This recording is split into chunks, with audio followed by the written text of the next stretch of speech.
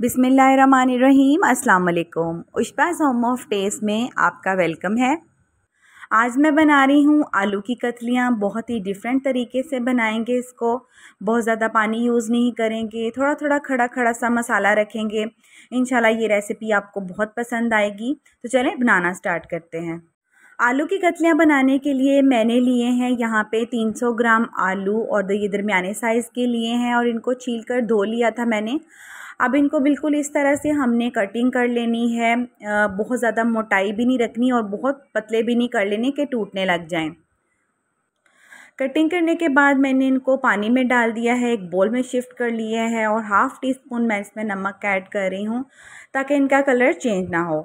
यहाँ मैंने लिए हैं सात से आठ लहसुन के जवे और इनको मैंने चॉप कर लिया है बारीक बारीक और दो हरी मिर्चें मैं यूज़ करूँगी।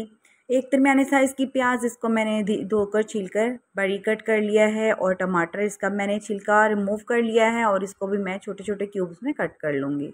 कुछ मसाले इसमें यूज़ करेंगे, जिनमें शामिल हैं एक टीस्पून कुटी हुई लाल मिर्च ली है मैंने।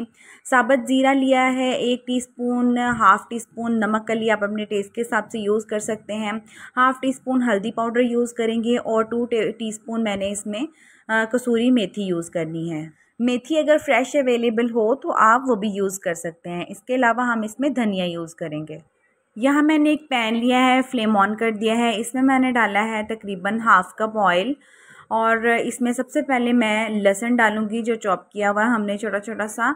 लहसुन को थोड़ा सा फ्राई करेंगे, उसका कलर चेंज होना स्टार्ट होगा तो साथ ही मैंने इसमें प्याज ऐड कर दी। प्याज को भी हमने बहुत ज़्यादा कलर डार्क नहीं करना, जैसे ही इसका कलर थोड़ा सा वाइट की तरफ़ जाएगा तो साथ ही मैंने इसमें आलू ऐड कर देने हैं।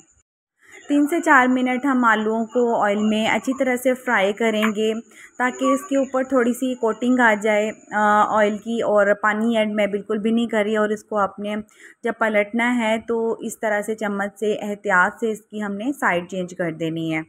मैं इसमें ऐड कर रही हूँ टमाटर और हरी मिर्च। टमाटर को मैंने छोटा छोटा कट कर लिया है और जैसा कि मैंने पहले बताया, इसका छिलका मैंने रिमूव कर लिया था और हरी मिर्चों को भी बारीक कट करके उसको भी इसमें फ्राई कर लेंगे। जैसे ही टमाटर थोड़े से सॉफ्ट होंगे तो फिर हम इसमें तमाम मसाले ऐड कर देंगे।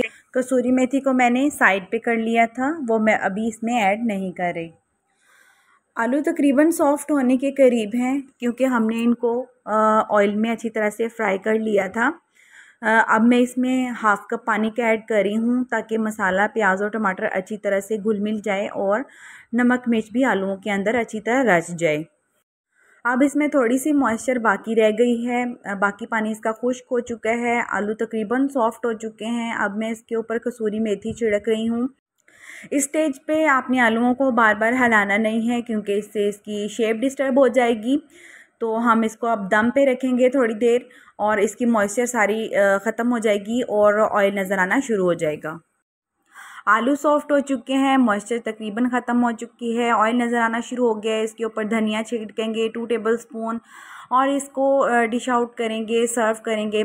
एक डिफरेंट टेस्ट के साथ आपको ये बहुत मज़े की लगेगी, इसको ज़रूर ट्राई कीजिएगा। आपको आज की रेसिपी कैसी लगी, मुझे ज़रूर बताइएगा। पसंद आए तो लाइक शेयर सब्सक्राइब कर दें। खुश रहें, खुशियाँ बांटें, मुझे दें इजाज़त। मिलते हैं नेक्स्ट वीडियो में एक नई रेसिपी के साथ। अल्लाह हाफिज़।